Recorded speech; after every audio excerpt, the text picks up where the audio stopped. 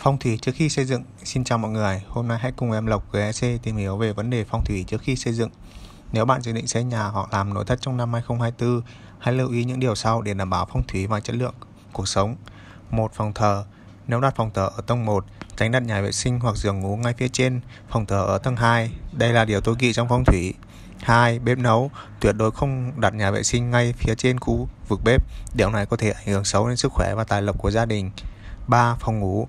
Nếu tầng 2 là phòng ngủ, không nên đặt nhà vệ sinh ngay trên giường ngủ ở tầng 3. Việc này có thể gây ra những vấn đề về sức khỏe và giấc ngủ. Xin mời mọi người cho thêm ý kiến về vấn đề này nhé. Nếu cần tư vấn về xây dựng và thi công chọn gói, mọi người hãy liên hệ với em theo số điện thoại 033 756 9554 Lộc Mai GSC cùng bạn kiến tạo ngôi nhà đẹp.